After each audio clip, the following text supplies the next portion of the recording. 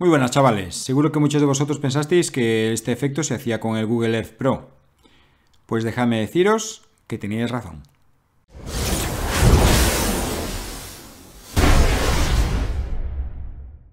Bien, antes de empezar con el tutorial debemos buscar una zona que haya cambiado bastante los últimos años, para que el efecto sea más visible. Esto lo digo porque yo antes lo intenté con otra zona de Madrid, que pensaba que eh, tendría más cambios, y como podéis ver en este vídeo apenas tenía cambios.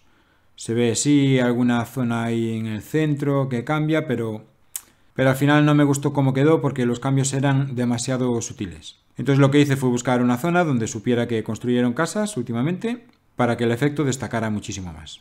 Bueno, una vez que tenemos instalado el Google Earth Pro, lo abrimos y buscamos una zona que, como os decía, tuviera muchos cambios en los últimos años. Yo me decanté por esta de Rivas Vacía Madrid, hay zonas en el extranjero que también se cumplen estas condiciones, pero me apetecía hacerlo producto nacional. Entonces aquí tengo el marcador, hago doble clic y voy a él.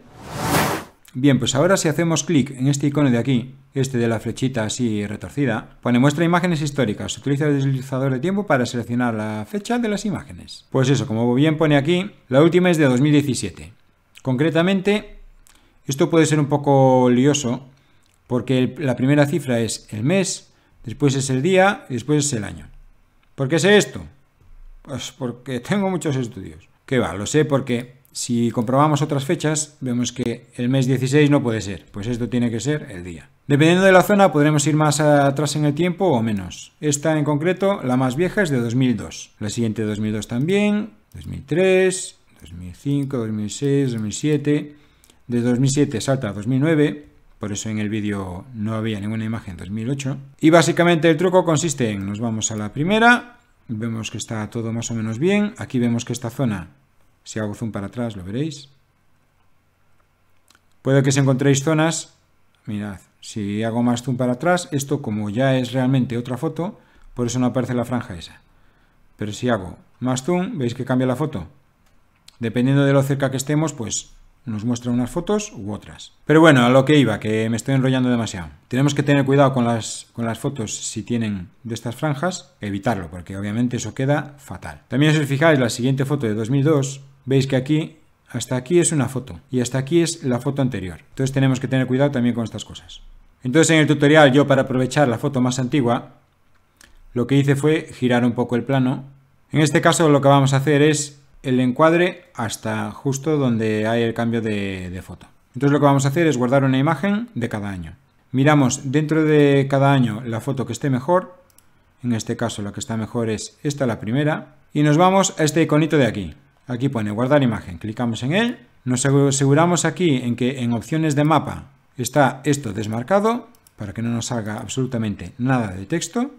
Queremos la imagen pura y dura. Aquí escogemos la resolución, lo que vamos a hacer es coger la máxima, esto nos permitirá hacer el encuadre que nosotros queramos sin perder calidad. Le damos a máxima y guardar imagen. De nombre de archivo vamos a poner el año, 2002. Bien, y ahora vamos a buscar otro año que esté bien. 2003. Esta está bien porque el corte lo tiene en el mismo sitio. Si vamos a usar el encuadre, pues ya no nos saldrá el encuadre de antes. O sea que guardar imagen 2003. Y así con todos los años. Si hay algún año en el que haya más de una foto y se vean muchos cambios, pues podemos guardarla con el nombre de año, guion 01 o guion 02, etc.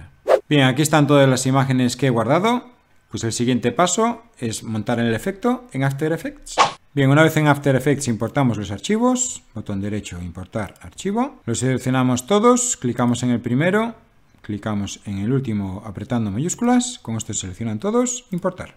Bien, lo que vamos a hacer ahora es crear una nueva composición. En este icono de aquí, la vamos a hacer a 1920 x 1080, 60 fotogramas por segundo, Full HD. Una duración aproximada de 50 segundos. Mejor que sobre que no que falte. Aceptar. Y ahora vamos a ordenar los archivos por orden inverso al nombre. De más a menos, de tal forma que tengamos el año más reciente arriba del todo. Seleccionamos todas las fotos y las arrastramos a la composición.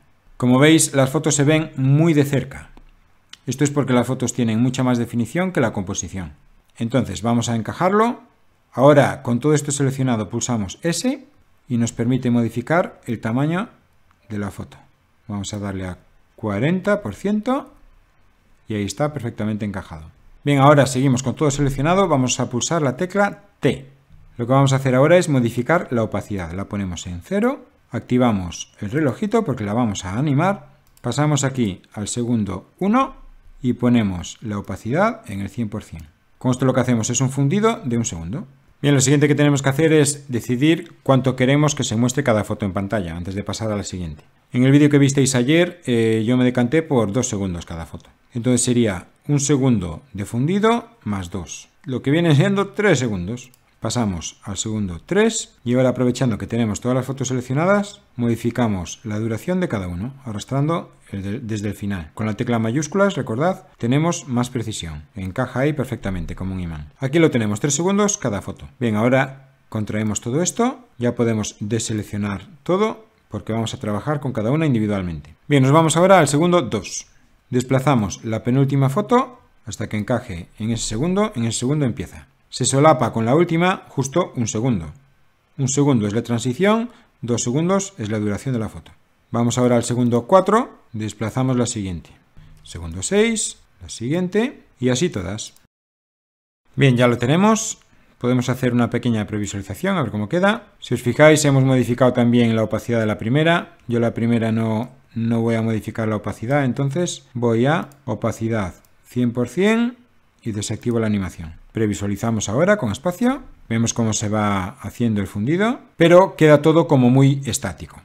Así que vamos a aplicarle un pequeño zoom. Aprovechando que tenemos mucha resolución de imagen, podemos hacerlo sin perder calidad. Entonces, volvemos al principio. Bien, vamos a crear un objeto nulo que afecte a, todas, a todas las imágenes. Entonces, botón derecho del ratón, nuevo, objeto nulo. Bien, ahora lo que vamos a hacer es seleccionar todas las imágenes y en esta espiral de aquí Cualquiera de ellas es igual, lo arrastramos al objeto nulo.